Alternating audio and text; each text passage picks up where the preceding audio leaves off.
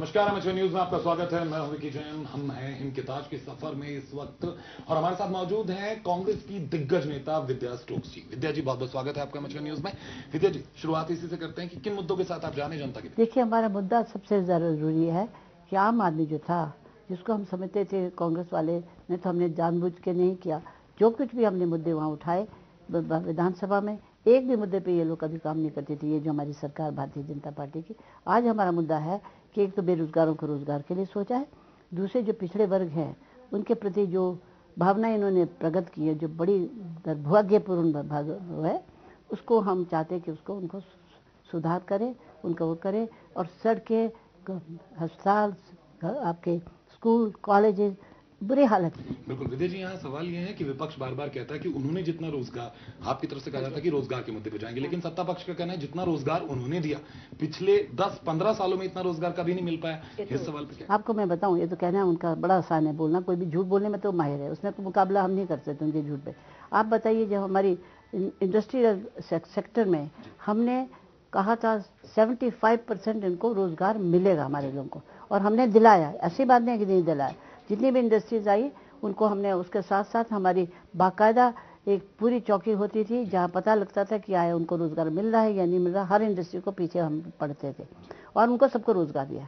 उसके बाद आस्ते आस्ते वो छिन भिन हो गए बेचारे उनको छोड़ जिस तरह से बार बार सत्ता पक्ष कह रहा है कि विपक्ष जो आ रहा है उसने खुद हमारे पैकेज रुकवाए हैं चाहे आर्थिक पैकेज की बात की जाए या बिज़नेस पैकेज की बात की जाए इंडस्ट्री पैकेज था और उसे खुद उन्होंने सीधा वीरभद्र सिंह जी पर आरोप लगाया कि वो उन्होंने खुद जाकर दिल्ली में रुकवाया और ये वो तो ये भी कहते हैं उनके पास इस बात के सबूत भी हैं उन्होंने स्वीकार किया इस बात को कि हाँ हमने रुकवाया मैं ये तो मैं यकीन नहीं करती इस बात को शायद उन्होंने कहा या नहीं कहा मैं नहीं इस बात को यकीन कर सकती क्योंकि जो बात सच्ची है वो सच्ची है।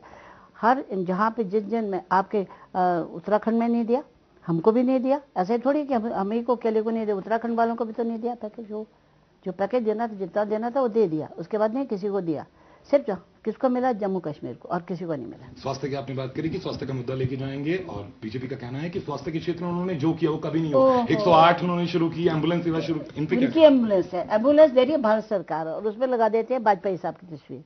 इनको शर्म भी नहीं आती कि एक छोटी सी तस्वीर हमारे प्रधानमंत्री की भी लगा लेते हैं तो कोई शर्म की बात नहीं। ये झूठे बातें करना झूठ बोलना तो ये इनका चुटकी का काम है चुटकी का। मैं आपको बताऊँ क्योंकि इनकी आदत है। अस्पतालों में आप देखेंगे तो ना तो आपको डॉक्टर मिलेगा ना नर्स मिलेगी ना कंपाउंडर मिलेगा। क्या बात करते हैं? कैसी क्या बात करते हैं? हेल्थ के हेल्थ केयर की बात करते हैं? झूठ बोलते हैं बिल्कुल सफ़ेद झूठ बोल सत्ता पक्ष कहती है कि वो जनता के पास जाएगी उन्होंने विकास किया है उन्होंने सड़कें बनवाई हैं इन मुद्दों को लेकर इन्होंने इन्होंने सड़कें बनाई कहाँ बनाई सड़कें? यही तो हम कह रहे हैं वहाँ तो जो हमारी बनी हुई सड़कें हैं वो भी खंडर खंडर कर दिया। आप जाइए रोडू से लेकर रामपुर से लेकर इधर चौपाल से लेकर आप जो भी हमारी पहाड़ी सड़कें खासकर शिमला जिला के तो तबाही करी इन्होंने। हमारी इतनी बुरी हालत होती है जब सेबों का सीज़न आता है फलों का सीज़न आता है सब्जियों का सीज़न आता है इनकी बहुत बुरी हालत कर रखी है। आप जाइए तो देखिए तो पता लगेगा। लेकिन भ्रष्टाचार के मुद्दे पर जिस तरह से पूरे देश में के, केंद्र में भी और पूरे के पूरे देश में कांग्रेस सरकार घिरी हुई है हिमाचल में भी वो क्यों घिरी हुई है? क्योंकि सरकार तो हम, हमारे नाम पे यूपीए के नाम पर अगर हमारे मंत्री देखे कौन है भ्रष्टाचारी कोई मंत्री पकड़ा गया? बताइए। कौन? तो सा वाला कौन सा वाला मंत्री है? बताइए कौन सा मंत्री जो अभी हमारे आरोप में आया? कोई मंत्री नहीं आया? ऐसी बोलने की बात है किसी का भी चुटका चुटकी बना दो तो बना दो वो तो कोई भी बात जितने भी भ्रष्टाचारी थे मंत्री थे कौन से साउथ से थे आपको मालूम है ना? सबका नाम लेने की क्या ज़रूरत है मुझे? लेकिन वो तो कहते हैं कि आज तक ना विधानसभा के अंदर वो मुद्दों पर हमसे बहस कर पाए और ना ही हमारे किसी मंत्री पर आरोप तय अरे बात सुनिए जितना हमने बदनाम इनको किया है फिर भी अगर बेशर्म है वो कहेंगे हमने तो कोई मुद्दे किए ही नहीं हमने चोरी ही नहीं की। भाई इतने करप्ट कोई नहीं होगा सारे हिम- सोलन जिला तो खा गए। गरीबों का जमीनें जो थी, हमारे इंदिरा जी के टाइम की जो जमीनें हरिजनों को दे रखी थी, वो भी बेच के खा गए। गरीब लोगों को। अब उनके पास तो घर भी नहीं है, मुंडू बनेंगे। मुंडू जानते हमारे यहाँ बोलते हैं, जो नौकर चाकर रहेंगे। या आप मशोबरा जाइए, सारी ज़मीन उन्होंने बेच दी है। बड़ी बड़ी प्रॉपर्टीज़ एवरीबडी एक का नाम लें, किसका नाम लें? एक तो भ्रष्टाचारी इतना बड़ा है, आपका, हमारा मंत्री हेल्थ का मिनिस्टर हम कितने बार उनके लिए धरने पे बैठे? हमने उनको कहा, या तो इसको बाहर निकालिए, नहीं तो हम हाउस में नहीं काम करेंगे। करना पड़ा है उनको फिर। लेकिन विद्या जी जिस तरह से आप जा रही हैं जनता के बीच और आपको एक बार फिर से क्योंकि बहुत असर पड़ने वाला है हिमाचल के नतीजों का केंद्र पर भी कि क्या कुछ होता है जनता आप पर कितना विश्वास कर पाती है उन्हें लेकर केवल आप मुद्दों पर जाएँगे कुछ और मुद्दे भी नहीं आपको मैं बताऊँ ये कहने की बात है आज हिमाचल का एक वासी को भी आप कहीं भी जाएँगे यही कहेंगे कि हमारी सरकार वापस आनी चाहिए कांग्रेस की। क्यों? क्योंकि हमने करीबी से उनको देखा करीबी से हमने उनकी इमदाद की करीबी से उनके लिए हेल्प किया हर हाल में चाहे आप एजुकेशन में देखिए आप उसमें देखिए मेडिकल में केयर में देखिए, सड़कों में देखिए, हर तरीके से। ये जो बोलने की बात है, बोलने की बात है, ये प्रचार बड़ा अच्छा करना जानते हैं। भारतीय जनता पार्टी तो कमाल है इस चीज़ में कि प्रचारक तो ये इनका नाम ही प्रचारक बोलती हूँ। मैं तो नाम ही नहीं लेती कई बार। मैंने कहा, ये प्रचारक लोग हैं, क्या बात करिए इनकी? और हैव इफ़ेक्ट है। मैं कभी झूठ नहीं बोलती, मेरी एक आदत नहीं है। मैं मुझे कोई भी ये नहीं कह सकता जी खुद आपकी पार्टी के अंदर भी दिक्कतें हैं। जिस तरह से जो बागी नेता हुए हैं बहुत लोग नाराज़ हैं बहुत ऐसे लोगों के आने से नए चेहरे उतार दिए गए हैं या कुछ नए लोगों को नए चेहरे तो उतारने चाहिए। अब क्या आपका, आपका मतलब नए चेहरों को उतारे नहीं जाएगा? बिल्कुल उतारा जाने। तो बागी भी खुद मानेंगे माने मान रहे हैं ऐसी बात। महिलाओं की बात आप हमेशा करती हैं सरकार देखिए नहीं आप कम दी नहीं हैं। आपको मैं बताऊँ क्या हुआ। पिछली बार हमने दिया थे पाँच टिकट और मैं एक जीती बाकी सब हार गई हमें बड़ा दुख हुआ। ये तो वजह है कि महिलाएँ जो है महिलाओं को वोट नहीं दे रही इसका मतलब ये हुआ। मैंने तो सबको कहा महिलाओं को ऐसा लगता है कि आप महिलाओं को महिलाओं पर विश्वास ही नहीं। टिकटें दी और अच्छे लोगों को टिकटें दी और अच्छी हमारी पहले महिलाएँ रही हैं मंत्री भी रही है। और हार गई तो कई दफ़ा किस्मत ही होती है। विद्या जी आपके लिए भी नई सीट है परिसीमन के बाद बहुत कुछ बदला है ठियोग में। हम्म। और अगर ठियोग के उम्मीदवार की बात की जाए तो वो एक बार निर्दलीय जीत चुके हैं और इस बार फिर से आपके सामने तो आपको कितनी दिक्कत उनको किसने इमदाद किया? आपको पता निर्दलीय को। किसने इमदाद किया? तो आप मैं बताना नहीं चाहती। निर्दलीय वो ऐसे नहीं जीता है। उसको बड़ी ताकत दी है हमारी हमारी आपको लगता है कि आपके लिए भी थोड़ी मुश्किलें हैं इस बार नहीं नहीं मेरे को कोई मुश्किल नहीं है। I I I am no no worry no I am no worry no worry no worry about him वो तो आजकल परेशान है पहले तो चौपाल चला गया दो बार तो चौपाल गया फिर वापस आ गया।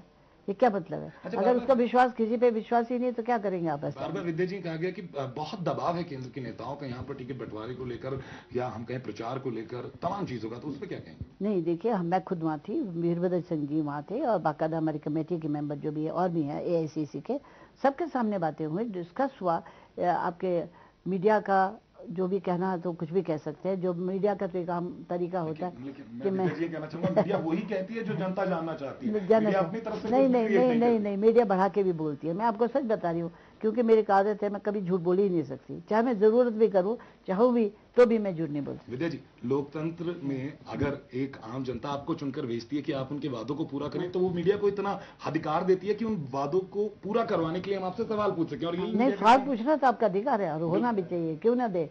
सर आपको प्रश्न पूछना तो बहुत ज़रूरी है और हम हम भी जवाब मैं भी आपके मैं भी वही मैं भी वही कह रही हूँ ना कि हाँ, मैं भी हकीकत ही बोल रही हूँ। आप इस बात को क्यों नहीं यकीन करते? लेकिन पूरे हिमाचल की बात करें कांग्रेस मैं के हिमाचल की बात करें मैं पूरे हिमाचल की बात करें कांग्रेस के पास वो कौन कौन से और मुद्दे होंगे कि वो जनता को यकीन दिलाएगी कि हाँ वो वापस कांग्रेस के पास आए देखिए पिछले पाँच साल आने आप आने वाले समय में देख लीजिए। होगा ऐसा कि सब कांग्रेस ही जीत के आ रहे हैं। मैं आज भी बता रही अच्छा, हूँ एट्टी एटी एटी परसेंट। हम रणनीति आपको क्यों बताएँगे फिर भी कुछ खास निशाना आप सामने वाले हैं जो कौन से ऐसे मुद्दे जिनके बीच लेके तो जाए है? कि ईमानदारी का काम करिए हम बेईमानी ना करें करप्शन ना करें हमारे स्टेट में कभी करप्शन नहीं होती थी अब ढेर सारी करप्शन है ढेर सारी करप्शन हर कदम पे हर कदम पे। बच्चे से लेकर उन्होंने सिखा दिया हर को करप्ट यहाँ पर लेकिन करप्शन की बात वो आप पर आरोप लगाते हैं वो तो कहते हैं कि लगातार आप केंद्र में रह के उनका ये भी कहना था कि पहली बार इतना छोटा स्टेट है उसके बावजूद केंद्र में मंत्री थे उसके बावजूद कुछ हिमाचल को नहीं मिला। क्यों नहीं मिला? क्यों नहीं मिला? सब कुछ तो भारत सरकार ही दे रही है। ये तो बातें बनाते हैं कि हम ये सब कुछ दे रहे हैं कहाँ से दे रहे हैं बताइए। तीन सौ करोड़ तो पिछली बार इनका बजट ही रह गया। कर ही नहीं सक खर्च नहीं कर सके बताइए कितने नालायक है। तीन सौ करोड़ बजट भी इनका छुट गया खर्च नहीं सके। इनके पास दिमाग नहीं है इनके पास है चमत्कार बात करने का चमत्कार। चमत्कारी लोग हैं हम तो सब बात विद्या हैं। जी बात करें हमेशा यहाँ पर बीजेपी और कांग्रेस का मुकाबला रहा है लेकिन पिछले कुछ चुनाव से अगर हम देखें बहुत सारी और पार्टियाँ रीजनल पार्टियाँ भी हिमाचल में अपनी पैट बनाने लगी हैं इक्का दुक्का और धीरे धीरे उनका वोट परसेंटेज भी बढ़ता जा रहा है। उसे लेकर आपको लगता है कि हाँ कुछ मुकाबले त्रिकोणीय हो रहे हैं? देखिए कई दफ़ा त्रिकोण में भी फ़ायदा होता है।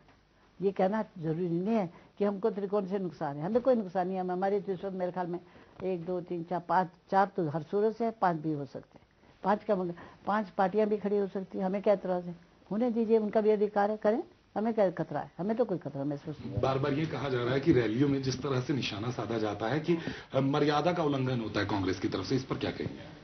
मुझे समझ नहीं आती कि कैसे आप इस बात को कह रहे हैं। ये प्रश्न ही मेरी समझ से बाहर है कि मर्यादा मर्यादा हमारी तो मर्यादा है। कांग्रेस के हमेशा से मर्यादा पूर्व हम रहे पूरे मर्यादा पूर्व। अच्छा विद्या जी जिस तरह से अध्यक्ष बदला गया हाथों हाथ कांग्रेस का अध्यक्ष बदल गया हिमाचल में ठीक चुनाव से पहले उसे लेकर पार्टी में गुटबाजी की खबरें भी नहीं गुटबाजी कोई नहीं थी।